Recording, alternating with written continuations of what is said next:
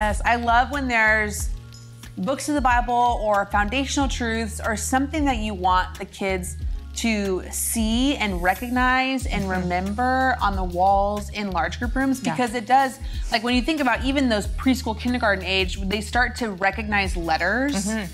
and so then they start to recognize oh well there's an E, E's in my name, but then you're like, oh, but this is also Esther and the book of the Mm-hmm. Bible that talks about Esther's story. And so it's just such an easy way to weave in biblical truths Hundred percent. Yeah. every single Sunday when they come yeah. It's just.